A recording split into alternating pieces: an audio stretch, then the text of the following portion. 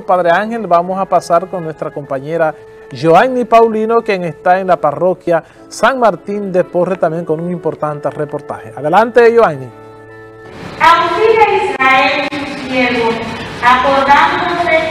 Muchísimas gracias, buenos días. Me encuentro en la parroquia San Martín de Porres, en este municipio de San Francisco de Macorís, donde ya ha iniciado la celebración del Día de la Alta Gracia fiesta del pueblo dominicano. Una particularidad en esta fiesta atípica es el protocolo sanitario que se ha establecido por el Gabinete de Salud y el gobierno que debe ser llevado a cabo en las principales eh, iglesias del país en este Día de la Alta Gracia para evitar justamente las aglomeraciones y asimismo evitar contagios por COVID-19.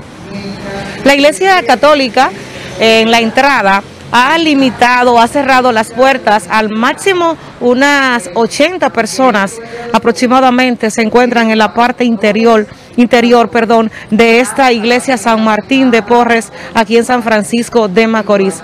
La Eucaristía inició puntual a las 9 de la mañana y eh, unos 80 devotos han acudido para celebrar el Día de la Alta Gracia, que como todos sabemos se realiza por primera vez en la República Dominicana en medio de esta situación de la pandemia. Mascarilla y gel a la entrada fue utilizado para los feligreses que participan de esta Eucaristía en la parroquia San Martín. Es todo lo que tengo por el momento.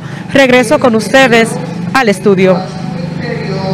Gracias, Joanny Paulino, quien desde la parroquia San Martín de Porret también compartía con nosotros eh, lo que está ocurriendo en este momento y es la preparación ya de la Eucaristía que está a punto de iniciar aquí en este